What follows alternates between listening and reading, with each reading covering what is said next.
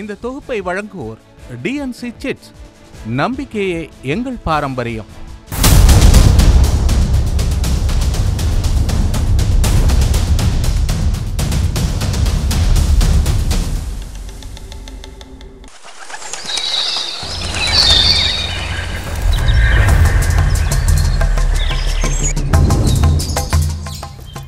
நாளைக்கு ஒரு முறை செம்மர கடத்தல்ல கைது பறிமுதல்னு செய்திகள் வர்றது தொடர்கதையாவே இருக்கு.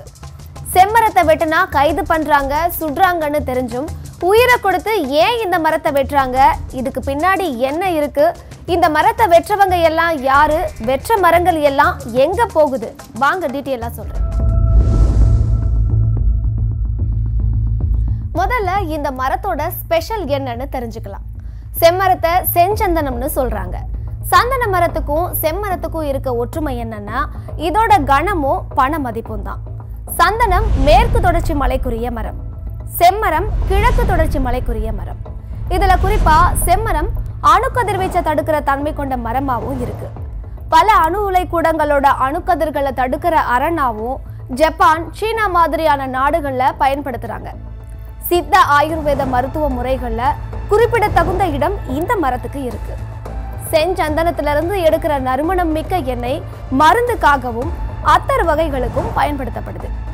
எல்லாத்துக்கும் மேல செம்மரத்தை கரையான் அரிக்காது. மரச்சாமான் செய்யறதுக்கு கப்பல் கட்டுறதுக்கு தேர் செய்யறதுக்கு தபேலா மாதிரியான இசை கருவிகள் தயாரிக்கிறதுக்குன்னு ஏராளமான விஷயங்களுக்கு இந்த மரம் பயன்படுத்தப்படுது. இவ்வளவு சிறப்பு வாய்ந்த இந்த மரம் எந்தெந்த ஏரியாவிலலாம் இருக்கு? இப்போ தெரிஞ்சுக்கலாம்.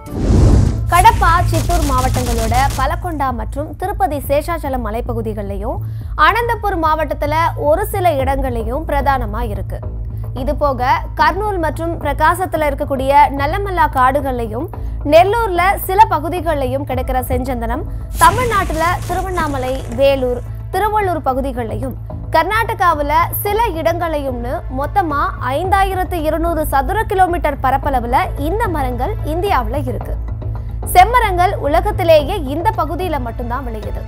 இந்த செம்மரங்கள் எல்லாம் அரிய வகை மரங்கள் பட்டியலில் இருக்கு. எதுக்காக இந்த மரங்கள் இந்த பட்டியலில் சேர்த்தாங்க?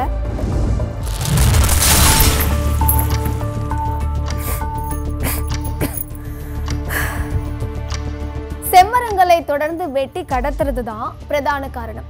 செம்மரங்களோட அரிய தன்மையும் குறைவா சந்தையில கிடைக்கிறது தான் இதோட தேவையை அதிகப்படுத்தி இருக்கு இதனால தான் கடத்தல் தொடர்ந்து நடந்துகிட்டு இருக்கு. காவல்துறையும் மரங்களை பிடிக்கிறாங்க. பிடிச்சதுல பத்துல ஒரு பங்கு தான் கைப்பற்றி இருக்கிறதா சொல்றாங்கன்னு ஆந்திராவோட சிஎம்மா இருந்தப்போ சந்திரபாபு நாயுடுவே சொல்லியிருக்காரு அப்போ கைப்பற்றப்பட்ட அளவு மட்டுமே பத்தாயிரம் டன். அப்படின்னா மீதி தொண்ணூறு சதவிகித செம்மரக்கட்டைகள் எங்க போகுது? காட்டை விட்டு எப்படி வெளியே போகுது? யார் அதையெல்லாம் வெட்டுறா? செம்மரக்கட்டை சட்டைக்குள்ள ஒழிச்சு வச்சு கடத்த விஷயம் இல்லை காட்டுக்குள்ள இருந்து செம்மரங்களை துண்டு துண்டா வெட்டி தலையில சுமையாவோ மாட்டு வண்டி மூலமாவோ ட்ரக்கு மூலமாவோ கொண்டு வரணும். அந்த ட்ரக்கை வனத்துறை சுங்கத்துறை காவல்துறை உள்ளிட்ட அரசு துறைகளின் செக் போஸ்ட்டுகளை தாண்டி வெளியே கொண்டு வரணும். இதையெல்லாம் பண்ண இந்த கடத்தல் நெட்வொர்க்கை நான்கு வகையா பிரிக்கிறாங்க. மரத்தை வெட்டுறவங்க கீழ்மட்ட அடுக்கா இருக்காங்க. மரத்தை சாய்ச்சு அதை துண்டாக்கி ட்ரக்குகளுக்கு கொண்டு போகிற வேலையை தான் முதல் அடுக்கில் இருக்கக்கூடிய கூலி தொழிலாளர்கள் செய்கிறாங்க அடுத்தது இந்த வெட்டின மரங்களை எல்லாம் ட்ரக்குகளில் செக் போஸ்ட்டை கடந்து வெளியே இருக்கவங்க கையில் ஒப்படைக்கிற வேலையை இரண்டாவது அடுக்கில் இருக்கிறவங்க செய்வாங்க. இரண்டாவது அடுக்கில் தான் இருசக்கர வாகனத்தில் ஒருத்தர் ட்ரக் செல்ல வேண்டிய வழித்தடத்தில் போயிட்டு தோதான அதிகாரிகள் தான் செக் போஸ்ட்டில் இருக்காங்களான்னு உறுதிப்படுத்துவாங்க. அதுக்கப்புறம் குறைஞ்ச எடையோட ஒரு லோடு இருக்க லாரி முன்னாடி போகும். இப்படி குறைஞ்ச லோடு இருக்கக்கூடிய லாரியை கணக்கு காட்ட அதிகாரிகள் பிடிச்சு வச்சுக்கிட்டு மற்ற வண்டிகளை கடந்து செல்ல அனுமதிக்கிறாங்கன்னு சொல்றாங்க. ட்ரக்குகளின் மூலமா மூன்றாவது அடுக்கா செம்மரக்கட்டைகளை ஏற்றுமதி செய்கிறவங்க கிட்ட வந்து சேர்ப்பாங்க. நான்காவதா இந்த மூன்று அடுக்குகளையும் இயக்குற வேலையை செஞ்சு வெளிநாடுகளுக்கு அனுப்புற வேலையை செய்வாங்க. இப்படி கடத்தப்படுற மரங்கள் சந்தையில ஒரு டன் முப்பது லட்சம் நாற்பது லட்சம் ரூபாய் வரைக்கும் விலை போகுது. கடந்த நான்கு வருஷத்துல மட்டும் சுமார் ஐநூறு கோடி ரூபாய் மதிப்புள்ள செம்மரக்கட்டைகளை வனத்துறை அதிகாரிகள் கைப்பற்றியிருக்காங்க. இது மொத்தமா கடத்தப்பட்டதுல வெறும் இருபது சதவிகிதம் தான். ஆனா கடத்தப்பட்ட மொத்த அளவு இரண்டாயிரத்து ஐநூறு கோடின்னு அதிகாரிகள் சொல்லும்போது நமக்கு தலையே சுத்தும். சிறை தண்டனை துப்பாக்கிச்சூடு அரசோட கெடுபிடி சோதனை சாவடின்னு எல்லாத்தையும் தாண்டி செம்மரக்கட்டைகள் கடத்தப்படுவதற்கு முக்கிய காரணம் இதில் கிடைக்கிற கோடிக்கணக்கான லாபம்தான்.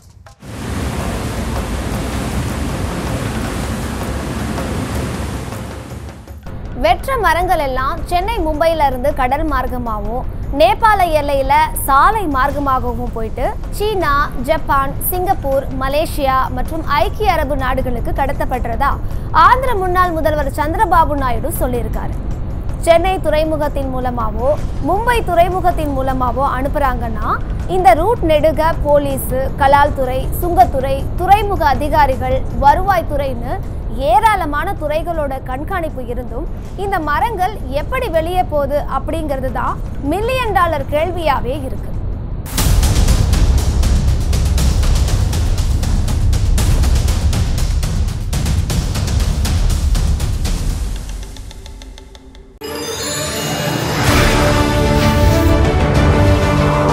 ஹெட்லைன்ஸ் டாப் ஸ்பெஷல் ஸ்டோரிஸ் இன்றியமையாத பிரேக்கிங் நியூஸ் டிஜிட்டல் எக்ஸ்க்ளூசிவ்ஸ் பிரம்மாண்டமான காட்சி தொகுப்போட ஏஆர்விஆர் ஸ்டோரிஸ் எப்படி நாள் முழுக்க நியூஸ் தமிழ் தொலைக்காட்சியோட சோஷியல் மீடியால கம்ப்ளீட்டா கனெக்டடா இருக்கீங்களோ அதே போல நியூஸ் தமிழ் தொலைக்காட்சியையும் பாருங்க. உங்க ஃபேவரட்டான நியூஸ் தமிழ் சேனலை டிடிஹெச் சர்வீசஸ்ல பார்க்கணும்னா ஏர்டெல் டிடிஹெச்ல இந்த நம்பர்லையும் டாடா பிளேல இந்த நம்பர்லையும் டிஷ் டிவியில இந்த நம்பர்லையும் பார்க்கலாம். ஸ்டே டியூன் அண்ட் கீப் வாட்சிங் நியூஸ் தமிழ்